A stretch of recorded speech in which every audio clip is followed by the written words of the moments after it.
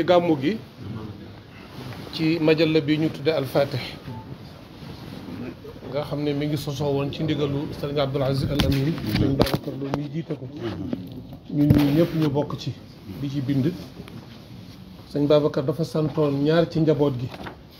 Ne leen nañu yaxal événement bu historique bii nga xam ne moom lañu yàlla baaxe te moo di noppik liggéeyu jumaay ñu def ci ñaari xasida pour sante ko sëriñ bi ñaanale ko sëriñ bi ak rakkam ak njabootam ak lépp lu suñu maam Cheikh Seyd El Hadj Malick jaboote góor ak jigéen mag ak ndaw ak i soppe ak ñi ci liggéey ak ñi ci liggéey ñëpp moo xam fii la moo xam ci bitim réew la ñu tànnoon ci nag ñaari xasida benn bi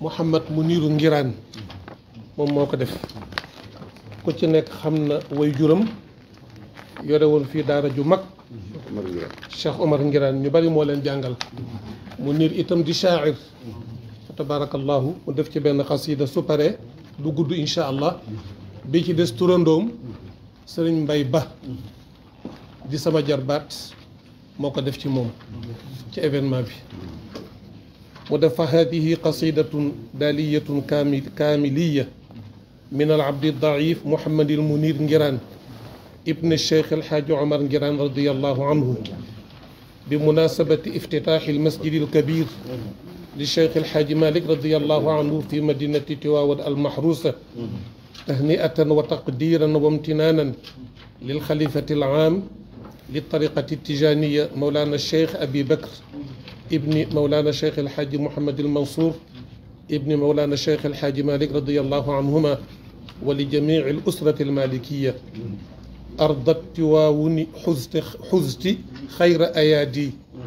لما استفاضت نعمة الإمداد. من ربنا ذي الجود جل عطاؤه ونعيمه حمدا لذي الإيجاد. فجزيت خيرا فجزيت خيرا يا أبا بكر خلي. فتمالك عن سعيك المرتاد أتممت ما قد أسس الآباء من عمل فحزت مفاخر الأجداد. ورفعت للدين الحنيف دعائما. هي منية الأعيان والأفراد. من همة من همة من همة أنجزت ما قد أعجبت. كل الورى من حاضر أو بادي. وكفى بها عزا. وأعجب رونقا في أعين الزوار والوفاد.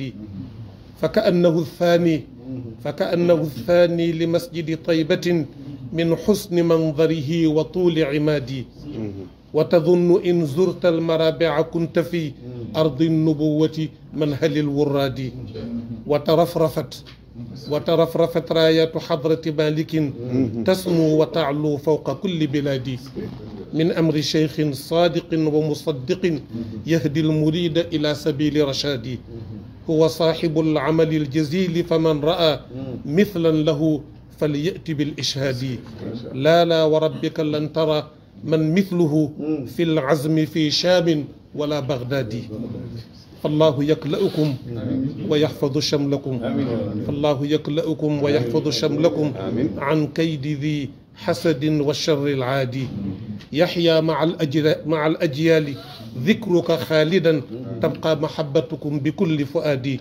هذه القصيدة نفثة المصدور من حب مريد شاهد بودادي.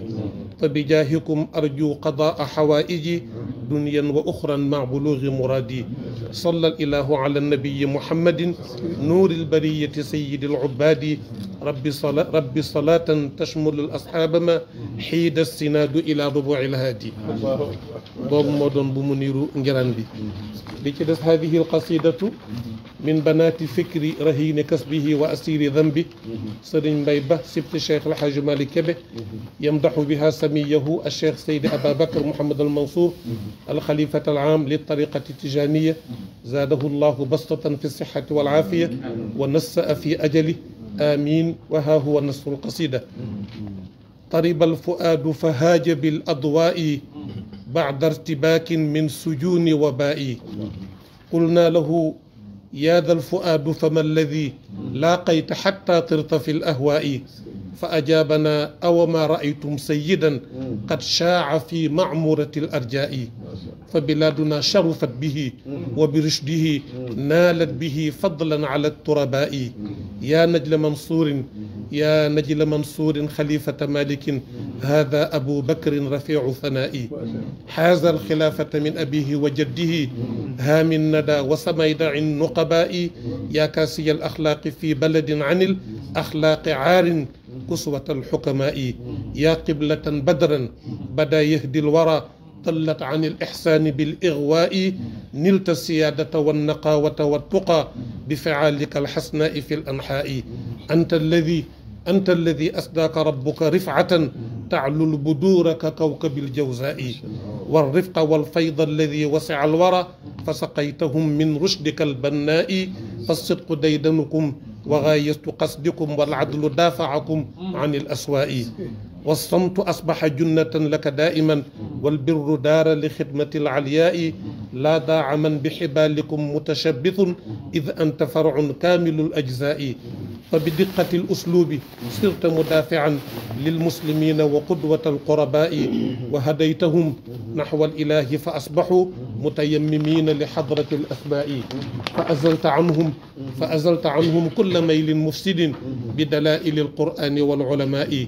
فترى المريدين الذين تشبثوا بذيولكم في في الخلق كالسفراء. في الخلق.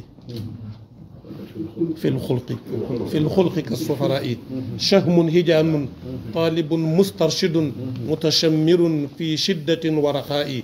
حزت المقامات التي شهدت بها نسباؤك الصلحاء في الفيحاء.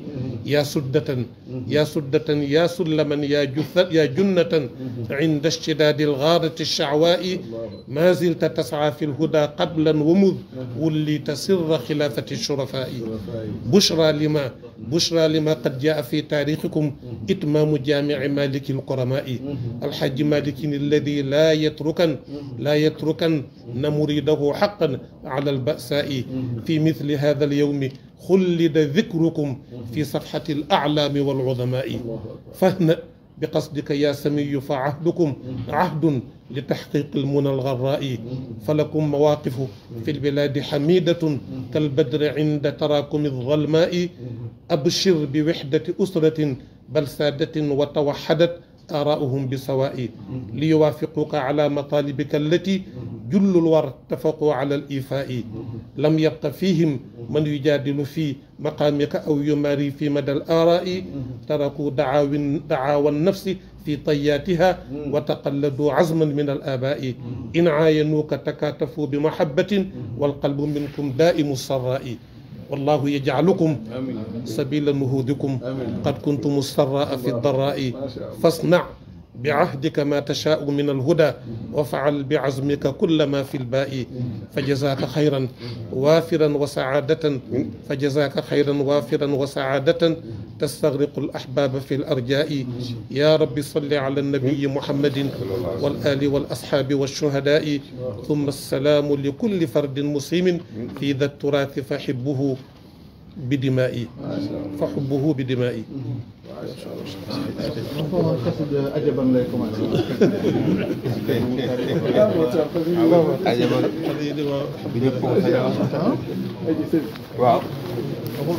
Léegi nag bopp yi.